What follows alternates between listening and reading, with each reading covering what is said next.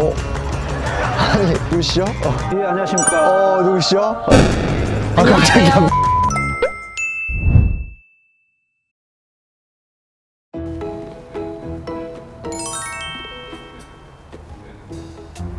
여기 어디야? 어? 어. 뭐 하는 데지? 반갑습니다.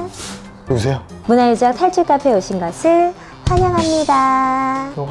안 하는데? 각 유적지마다 미션이 준비되어 있으며 미션을 통과하실 경우 다음 장소로 이동 가능하십니다. 모든 미션을 통과하시면 탈출. 미션을 실패하실 경우 쭉 탈출이 불가능한 점 양해 부탁드려요. 여기야? 오늘의 테마는 풍납토성 서성벽입니다. 첫 번째 미션.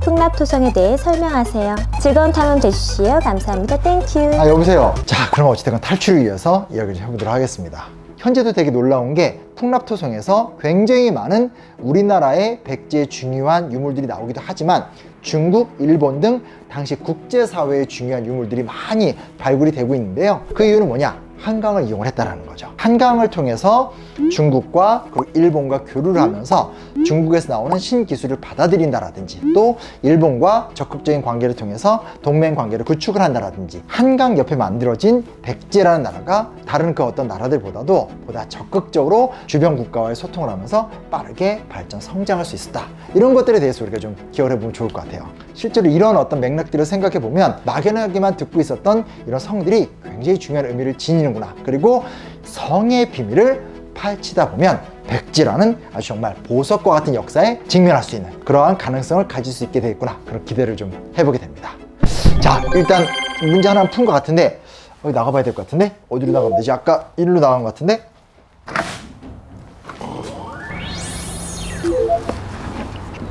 이게 뭐야?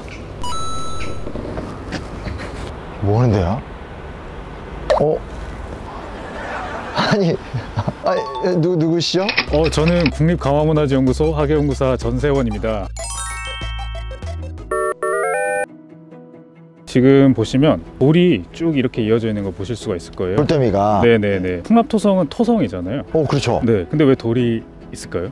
토성이면 흙으로만 돼 있어야 되는 거 아니시죠? 그 토성의 마감을 또 안정성을 추구를 하는 거죠. 음 지금 이렇게 깬돌이 있고 강돌이 있는데 특히 깬돌 같은 경우에는 어, 한강변에서 구할 수가 없는 돌입니다. 아 이쪽엔 없다 네네. 그런데 이제 이런 돌을 구하려면 수로를 이용하지 않았을까? 그 긴 구간을 음 다 돌로 일부를 채워야 되는데 맞아요, 맞아요. 이 많은 걸 이렇게 인력이나 어, 수레로 나르기가 이제 거의 불가능한 거죠. 그래서 이렇게 한강변에 네. 어, 성을 만들었지 않았을까. 이제 풍납토성에서 처음으로 최초로 발견된 문이 여기이기 때문에 아직은 이제 하나가 발견이 된 거예요. 아 이거 최초예요? 네네 최초입니다. 어, 이 문이 발견됐다는 건 어떤 의미로 우리가 좀 봐야 되나요? 한강변에 어떤 그런 물자가 이 문을 통해서 성 내부로 들어오는 하나의 결절 지점이 된다고 보시면 돼요. 아까 저 바깥쪽에서 이제 배가 쫙 오면 네네. 물건을 내려놓으면 네네. 여기를 통해서 이렇게 안쪽 들어갔다. 그래서 여기 지금 서 계신 이곳은 그 문지이기도 하지만 어, 도로이기도 합니다. 아 이 바닥이 도로 도로였다는 걸 뭐 알 수 있는 특징 같은 게 있는 거예요? 대표적으로는 당시에 수레바퀴를 이용한 그 자국들이 바닥에 다 남아 있어서 알 수가 있는데요. 수레바퀴와 함께 동물의 발자국이 남아 있는 걸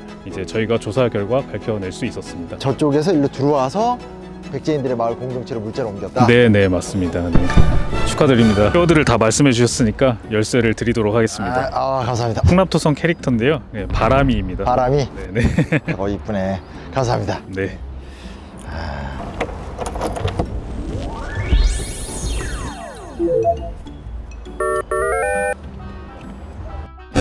어 누구시죠? 국립문화재연구원에서 문화재 물리 탐사를 담당하고 있는 신종우 학예연구사입니다.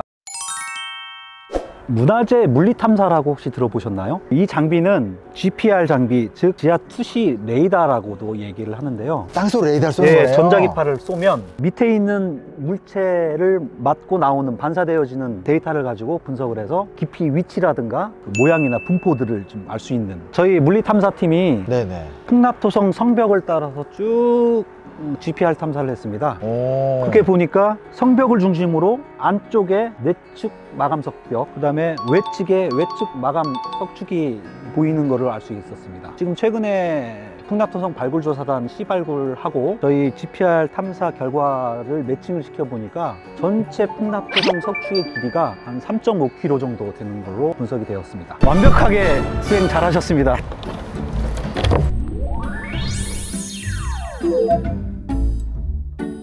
어? 잠깐만, 이거 아까랑 전혀 다른데? 몇 개를 만들라는 거야? 여보세요? 즐거운 시간 되시고 계십니까? 쭉 둘러보시면 호미가 있습니다. 네모칸을 찾아보십시오. 즐거운 시간 되십시오. 감사합니다. Thank you. 어, 끊었네? 이거 선이 나오는데? 어휴, 뭐야? 어, 어, 누구세요? 안녕하세요. 네. 저는 국립강화문화재연구소의 이보람 학예연구사입니다. 아, 근데 아까 이 블록에서 빛이 났어요. 뭔가 이거 좀 의미가 있는 건가요? 이 블럭이 판축을 아주 잘 설명해주고 있거든요. 판축은 성벽을 쌓는 기법 중에 하나예요. 음. 그런데 지금 바닥에 네모 칸들이 보이실 거예요. 오, 맞아요. 나무 판을 이용해서 네모 박스를 짜게 됩니다.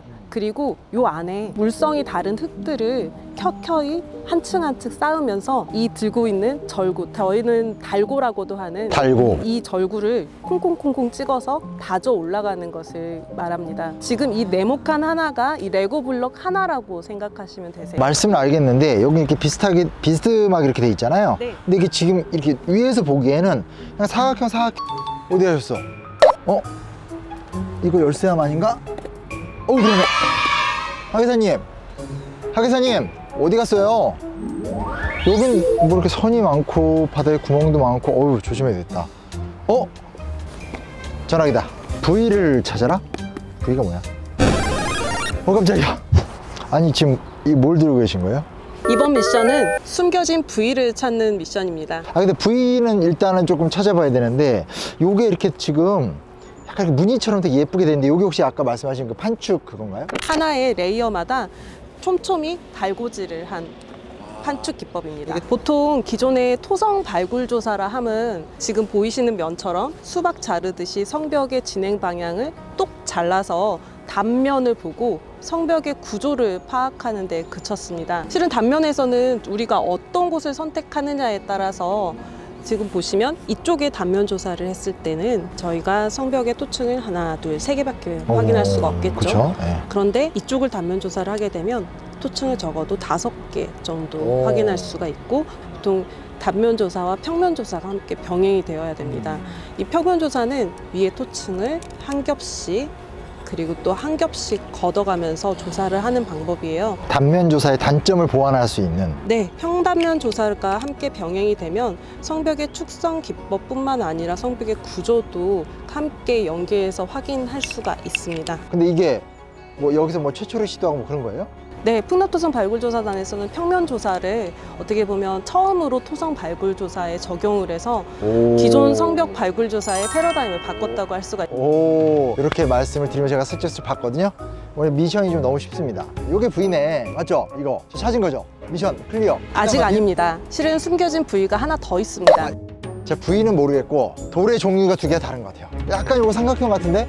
요거죠 요거 요거 요거 요거 아닌가? 맞아요? 점점 더 칼퇴가 가까워지고 아 그래요 그래요? 어. 그 작가님이 찾아주셨듯이 이 석재는 먼저 삼각형으로 석재를 쌓아 올려서 성벽의 끝을 구획하는 역할을 했습니다. 그리고 먼저 구획을 하고 난 후에 그리고 바로 옆에 있는 이 노란색 블럭을 쌓아 올렸습니다. 그러니까 삼각형을 두 개를 쌓았다 뭐 이렇게 봐도 되는 거예요? 네, 맞습니다. 아. 이 삼각형을 두 개를 쌓은 후에 서로 물성이 다른 이 블럭들을 그러니까 붙이기 위해서 어떻게 보면 밀도를 높이기 위해서 이 양쪽의 부위를 박은 거구나 어, 어. 어떻게 쐐기라고 생각하시면 되겠습니다. 아 이제 레고나 이런 거 만들어 봐도 이게 사실은 규모가 커지면 우르르 무너지는 경우 솔직히 한 번쯤 있고 네. 아무래도 그래도 고대 시대인데 고대 사회에서 이 정도 건축을 만들었으면 이걸 이 하중이라고 하나? 이걸 버틸 수가 있었을까요? 이해가 안 되는데 이걸 진짜 버틸 수 있었나? 하계사님 어? 아 또 어디 가신 거예요? 제일 궁금한 거 꼭 얘기도 안 해주고 어 잠깐만 오 뭐가 있는데 어? 아 이거 드리다 드리 풍납토성의 마스코트 드리 어? 숨겨진 강자가를 찾아라 아 숨겨진 강자갈. 여기는 풍납토성 서성벽 보건지구의 어, 단면 조사 구간입니다. 층이 보이는 어, 그런 조사 구간이라고 보시면 될 것 같아요. 깊숙하게 파 들어간대요. 네, 그래서 자연스럽게 저지대가 형성돼 있는데 저지대라는 건 그만큼 이제 물이 찰 수 있겠죠. 왜냐하면 이제 여기가 한강변이니까요. 어, 네네. 그래서 한강변의 그 수위가 올라가면 여기에 이제 자연스럽게 물이 차는 그런 환경이 조성이 돼 있었을 걸로 예상이 됩니다. 그러다 보니까 저지대의 물들을 극복하기 위해서 여기에 아주 다양한 그 당시의 최첨단의 그 토목 기술들이 사용이 되는 걸 이제 확인을 할 수가 있습니다. 약간 뭐 색깔이 좀 다른 것 같기도 하고. 어, 네, 맞습니다. 첫 번째로 사용된 그 토목 공법에 대해서 설명을 드리자면, 어, 이렇게 아까 말씀드린 모래층이 쭉 이어져 오는데, 갑자기 여기 이렇게 잘려 있죠. 여기는 이제 일부러 이제 인위적으로 이렇게 파냈다고 보시면 될 것 같아요. 물이 차오르니까 엄청나게 이제 뻘층이 됐겠죠. 그러다 보니까 이렇게 엄청난 하중을 견딜 수가 없었을 겁니다. 무너질 수 있구나. 그러다 보니까 여기에 물이 많이 나오는 2층을 이렇게 일부러 잘라내서 거기에 다른 흙들을 채워 넣습니다. 아 이게 색깔 단순하게 색깔이 다른 게 아니라 다른 흙인 거예요? 다른 흙이기 때문에 색깔이 다른 것도 있는데요. 그래서 여기 다른 흙들을 채워 넣는데 그 안에 각종 식물 유기체가 이 안에 다 섞여 있습니다. 그것은 이제 공극을 만들기 위해서 있는데요. 공극. 네네 흙 속에 이런 유기물들을 섞으면 공극이 생깁니다. 공간이 생긴다는 뜻인데요. 네, 그 안으로 이제 물이 드나들 수가 있는 거죠. 아. 그래서 여기에 이제 다른 흙들을 채우는데 그 안에 유기물들이 많이 들어 있으면 여기로 물들이 지하 수위가 올라왔을 때 일정 부분 이곳이 물을 흡수할 수 있고 또 반대로. 네 맞습니다. 그리고 또 반대로 위에서 물이 이렇게 내려올 때 그 물들을 이제 배수시킬 수 있는 그런 능력을 갖고 있다고 볼 수 있습니다. 의도적으로 흙에다가 이제 다른 유기물들을 섞은 거네요. 네 맞습니다. 여기에 물을 들어오게 하기 위해서 어, 유도를 하는 시설이 있습니다.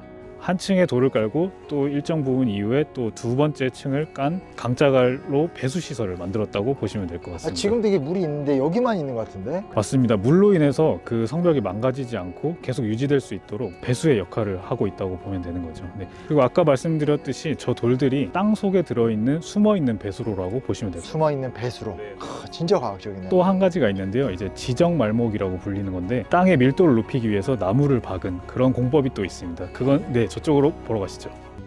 아침에 탈출 시작했는데 해가 다 졌는데 언제 탈출할 수 있는 거야 도대체? 네. 근데 지금 여기 또 뭐예요 이건? 아까 지정 말목이라고 제가 설명을 드렸는데요. 나무를 땅에 박는 기술입니다. 지정 말목. 네네.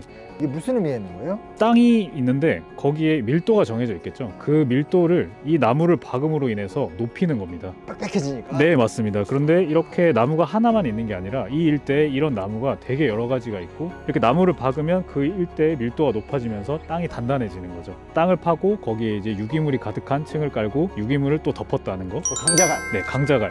강자갈로 이제 그 유기물 층으로 물이 흐를 수 있게 네, 유도를 했다는 거. 그리고 또 이렇게 그 부분들에 나무를 많이 박아서 일대를 단단하게 만들었다는 것. 다 이게 이제 고대인들의 최첨단의 그 토목 기술이라고 보시면 될 것 같습니다. 이렇게 하니까 풍납토성을 왜 발굴하는지에 대한 의미가 새롭게 다가와요. 백제 수도다 왕성이다 이런 이야기 좀 들어봤는데 그걸 넘어서서 아, 고대인들이 어떤 과학기술 갖고 있었는지 뭐 이런 것도 알 수 있는 기회가 좀 되는 것 같아서 어 이게 이게 오랜 시간 걸쳐서 이렇게 하는 이유가 있구나. 재밌하네.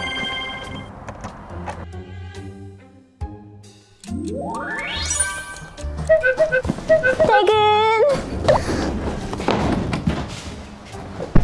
탈출 성공. 성공했어요. 축하드립니다! 아, 어, 지금 어디 가시려고 그런 거예요? 어디 지금 혼자 탈출하려고? 지금 탈출 성공했는데. 네, 여기 계세요. 자, 오늘 어떠셨나요? 이 탈출이라는 소재를 통해서 풍납토성의 구석구석 그리고 특히 최근에 고고학적 성과들을 좀 살펴봤거든요. 실제로 풍납토성의 발굴사 자체는 한국 고고학 역사에 굉장히 좀 중요한 사건이라고 할 수 있습니다. 사실은 그냥 백제와 관련된 작은 성으로 시작됐던 이야기였는데 실제로 몇몇 연구자들이 이곳의 지역적 가치를 또 발견하게 되고 또한 아주 중요한 발굴적인 성과들이 나오게 되면서 아 백제의 왕도가 이랬구나 또한 더 나아가서 고대인들이 특히 백제인들이 어떤 기술을 통해서 스스로의 삶의 자리들을 만들어 갔는가 이런 것들에 대해서 많이 발견해냈고 또한 지금도 더더더 구체적으로 알아가고 있는 상황입니다. 저희 이야기들 함께 지켜봐 주셔서 감사합니다. 땡큐. 나를 이렇게 힘들게 해놓고 진짜